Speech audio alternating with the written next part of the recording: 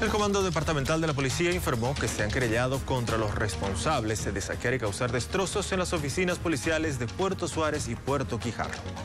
El Departamento de Asuntos Jurídicos del Comando Departamental de la Policía se ha querellado contra las personas que destruyeron al Comando Provincial de Tránsito en Puerto Suárez, así también por los daños ocasionados en la policía de Puerto Quijarro. El Comando Departamental está presentando la querella correspondiente contra los presuntos autores, puesto que existe daño a lo que es eh, bienes del Estado, ¿no? ¿En este caso eh, hay personas identificadas? Sí, estamos haciendo un trabajo de inteligencia, además un trabajo de investigación por la FELCC. Bueno, se está identificando a las personas que hubiesen perpetrado este hecho, que no tienen eh, relación con los familiares, ¿no? O sea, no son personas alegadas al fallecido, sino más bien otro tipo de personas que aprovechando el momento de las circunstancias eh, han robado, han perpetrado robo, han deteriorado bienes del Estado y han causado un perjuicio a la población. La autoridad indicó que son hechos aislados y no responden a la gestión que viene realizando la policía en frontera ya que los responsables robaron y destruyeron bienes del Estado. Tenemos un informe técnico del Departamento de la Administrativa